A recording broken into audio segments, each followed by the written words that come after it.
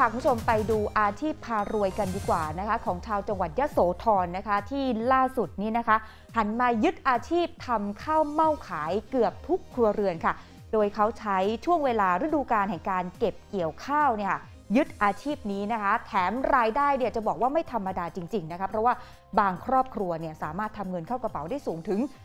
150,000 บาทเลยทีเดียวค่ะ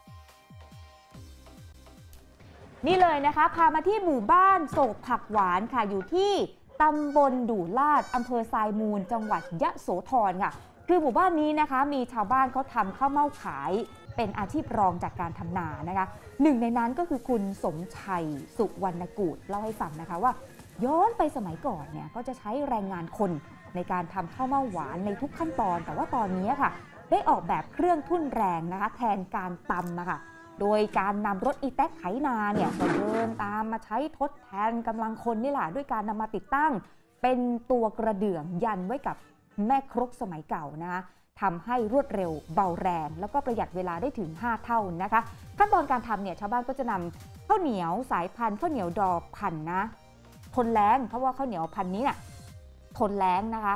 ดูแบบว่าไม่ให้แก่จัดนะคะคือยังยังสังเกตให้มันเป็นสีเขียวเข้มๆอะค่ะแล้วก็ เอามารูดนะคะให้เมล็ดเนี่ยมันออกจากรวง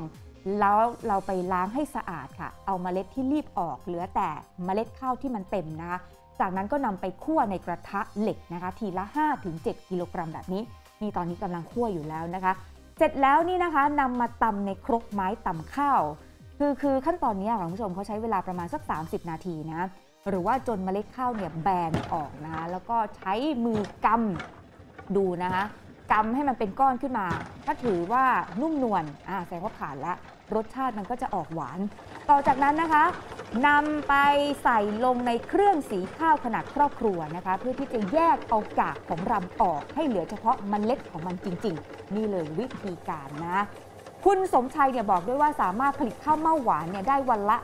100ถึง200 กิโลกรัมค่ะ มีทั้งแบบขายส่งกิโลกรัมละ 25 บาทายปลีกก็กิโลละ 35 บาท ก็จะตระเวนขายตามหมู่บ้านนี่แหละค่ะ หรือไม่ก็ขายตามตลาดนัดภายในอำเภอ ตลอดจนพื้นที่ใกล้เคียงด้วยนะคะ ส่วนระยะเวลาในการทำข้าวเม่าหวานนะคะ ก็จะทำใน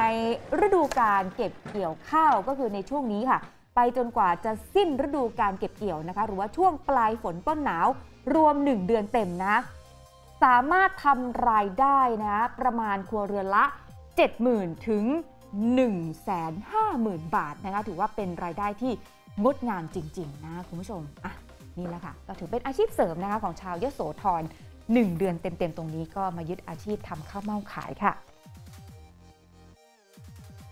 ขอบคุณสำหรับการติดตามรับชมรายการเรื่องดีๆ ทั่วไทยนะคะ คุณผู้ชมอย่าลืมเข้าไปกด subscribe กดกระดิ่ง กดไลค์ กดแชร์ ในทุกช่องทางออนไลน์ของ TNN ช่อง 16 นะคะ เพื่อให้ไม่พลาดการติดตามรับชมรายการสด และคลิปวิดีโออื่น ๆ ที่น่าสนใจอีกมากมายเลยค่ะ